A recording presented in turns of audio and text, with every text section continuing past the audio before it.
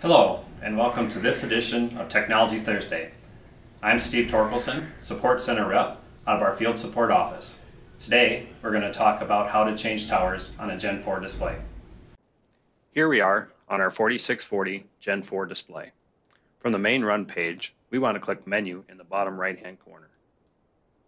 From here, we will click Applications. Next, we will scroll down to Starfire. Then click on your receiver. On this page, we want to click on the tripod and click Configure. We want to make sure the operating mode is set to vehicle. For the network ID, you will select the tower closest to your location and enter that tower number. Click OK. Accept these changes. It is now configuring the radio and acquiring the RTK signal.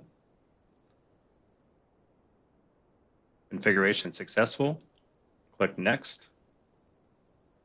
On this page, we can see the distance in miles to the tower. Please make sure this is no more than 10 to 12 miles away.